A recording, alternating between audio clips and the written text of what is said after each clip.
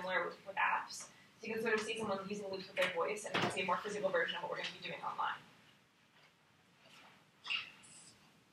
Oh, audio.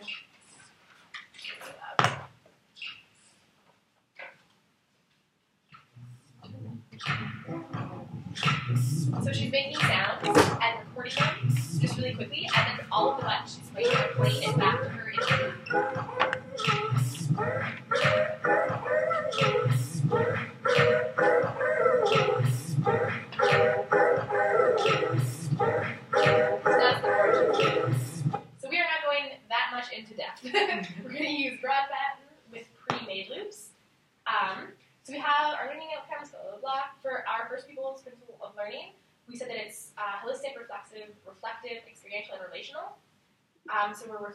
In groups and on experiential learning in this one.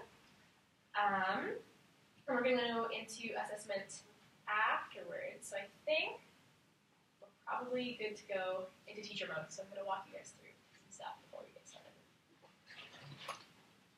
So, hello everyone. Now that we watched that really great video, loops, we're going to show you guys how to use some loops of your own. So if you have your laptops open and you have GarageBand open, I'm going to show you how to get started. So go to the loop section. Choose that. And yeah, you can create your. We're going to leave a tempo there for now, but it's important to know where that is because later on we're going to give you some time to experiment, but we're going to be coming around with some questions on where you could find things like tempo or dynamics or all the other elements that we've been working on. Once we get into our groups, we're going to kind of see where we find them. But we're going to show you quickly just how to get started. So over here, if you're following my mouse, yes. um, you can see all of the different uh, things you can choose from. So you can either go by genre, or by instrument, or by sound. So you have a lot of options in here. So we would like you to, for your um, when you're playing around with it, to get something that would bring in a beat. So you can use drums for that um, some kind of percussion, something with a string, so guitar, violin, anything like that, and then one wind instrument. And you can choose if you'd like to do um, a woodwind or a brass. That is up to you. But those three are the ones we're going for. So you can get into it. Let's say we want to start with um, a beat. So I can choose, yeah, we can start with a club dance beat. Let's see what that's going to sound like. I should plug this right back in.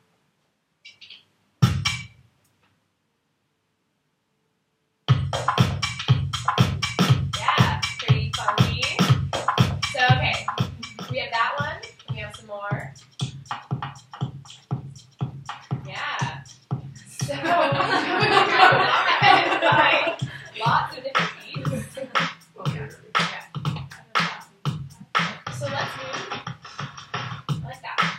So you can move it onto your piece by dragging it over, and then you'll get a little right here. So if you press play, your song now sounds like that. But it only lasts for a certain amount of time, so for that duration. So you can drag across other beats, or if you want to start layering some other things. So you can go reset to make sure you're not on beats anymore, and let's go into synths. And do, yeah, getting some 80s in here. yeah, so we're gonna get that going with our beat, and then Nora's gonna pick some. So we can start at the beginning of our song and see what that's gonna sound like. Oh, that sounded way better than I thought it would. so we have some synth. Yeah, you can go through and add some more stuff. Should we add some jazz stuff? Let's add some jazz. Let's just throw around the genres. And you guys can do that. We have no rules for genre. If you want to make a club song, if you want to make some some country twang, mm-hmm. whatever you want. Good. So let's see. Yeah, that's string. Pretty good. Yeah. Should we add in this one? Oh yeah, no, you can't. Oh, You're gonna want to use once if you have updated your GarageBand, you can use other ones. I haven't updated mine yet. It's very silly going is not going. Maybe it doesn't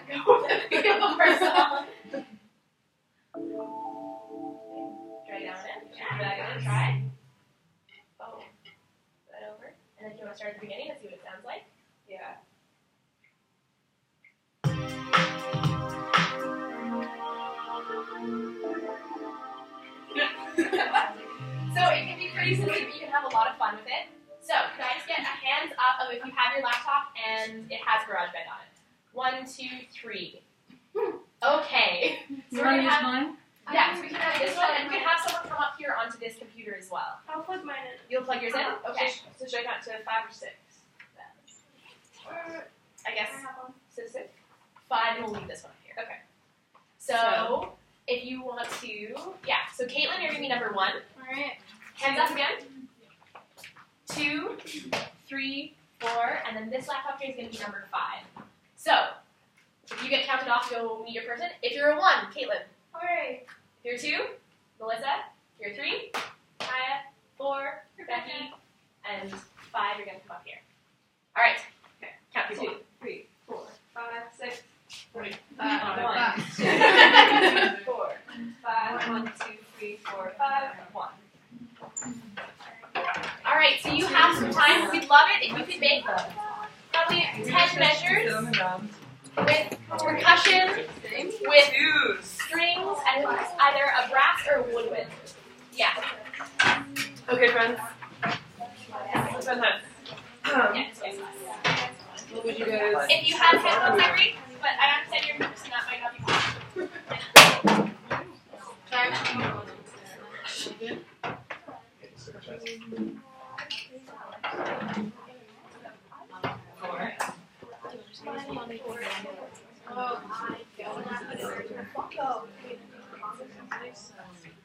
If you feel comfortable at the end of our little exploration, you can present your song to the class, but no pressure. If you just want to play around, that's okay too. You need a. So you have to do the loop. Do you need help getting it going? Your Are you Um, writing it up there, down here? Oh, okay, I don't have it. Okay, we'll just distribute. We'll distribute. I'll go here.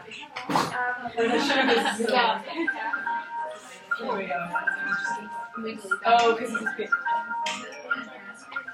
Great, one else. That would be fun. Um, okay, so do you want to do beats for like where Tell them what kind of song we're making. All right, so on the board it says you're gonna look for some kind of percussion, your strings, and your wind. So other than that, feel free to explore. We're gonna come around and ask some guiding questions. Let's start with uh, So, I'm just wondering, I told you to start time a little ago. Would we? Oh, yeah. Cool. So you can see how you can add in these elements that we've been Yeah. So feel free to keep going. Or do I have to? That's okay, we can do that.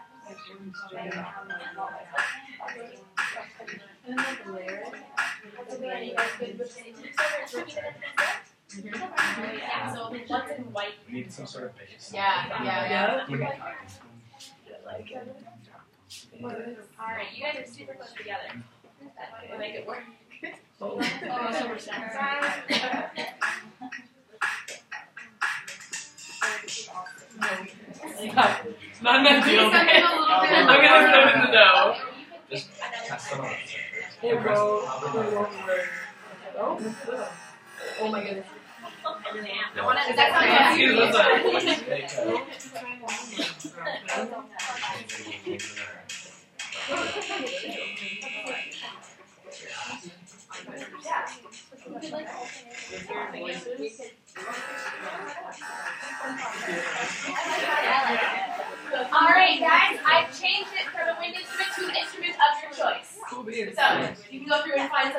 two like picking holes, so I changed it.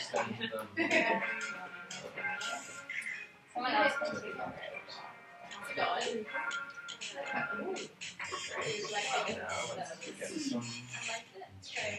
guys are We want it in this alternating pattern. Yeah, that works okay.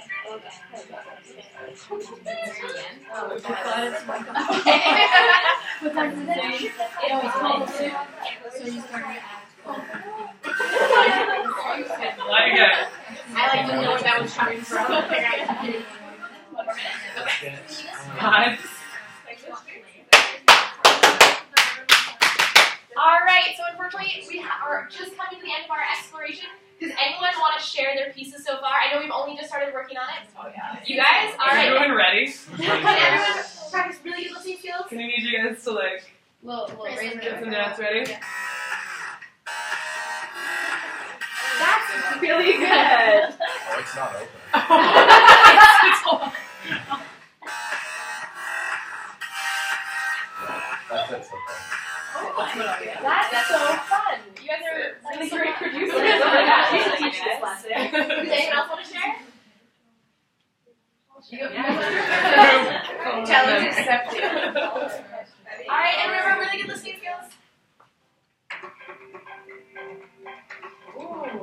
See this being like in a film story. This is really exciting. Oh, like an action film. Yeah, like Like someone's real determined.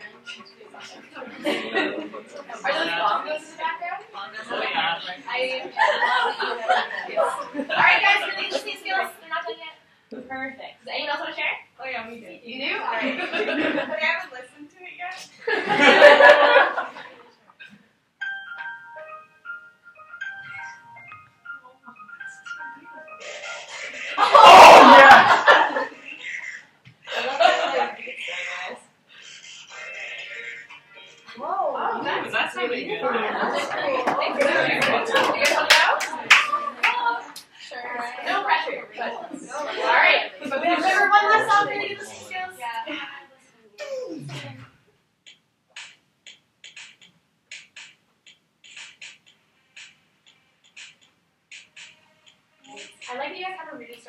That's really fun.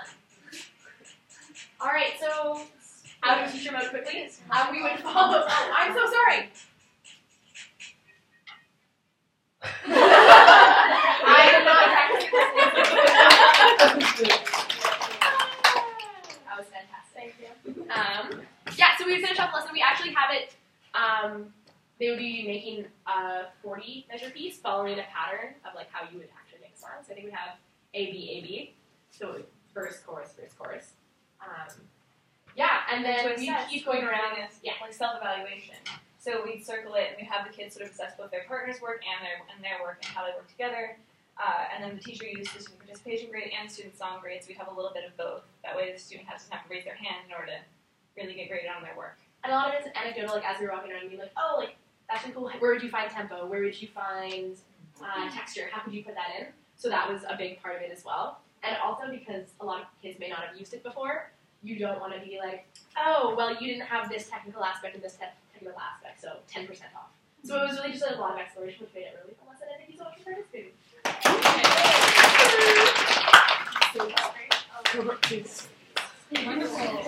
Yay. Walk into class Oh, yeah, to the. It's.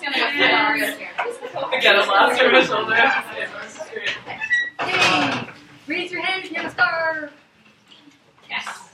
Um, your integration of so like, it was pretty seamless. Like, just throwing it in, and like, you went in and uh, by making it explore, like, explorative for us, it's like a little bit of pressure off of you to know the whole thing too. But like, It's definitely recommended. yeah, knowing that your kids will probably know a lot about it, but also creating it so that uh, it's a learning opportunity for those who don't. I think that's cool. We have two stars. One, I love that you came around and were like, where did you find tempo? Like, because like, if you didn't know, it's, it's a lot nicer to get that information when you're in your group and you're working versus at the beginning when you're like a little overwhelmed. And I also love that when you guys were mm, like demoing how to do it, you kind of chose ridiculous sounds so that like it showed you don't have to make like a song that sounds like the songs you hear, and also you can work together like you were both communicating like, no, that's silly, or we could do like you modeled working as a group to figure out a sound, I liked that a lot. I really like that um, you gave expectations, so you had to have something from the beach and a dumpstering and stuff like that. So then they have like a few guidelines, but they can add more in. I think I really like that. It's really good. Any any wishes? What can we improve on? Probably like Time. actually having you guys head lock off, so it'd be good. Um, your initial startup when you were like, make sure you remember where that was. I had no idea what you were talking about. Okay. So just like slow down on that first, like clicking here, clicking here. Okay. Just that gives all the kids kind of a starting ground when they get going. Just to go on that, you could wait to do the clicking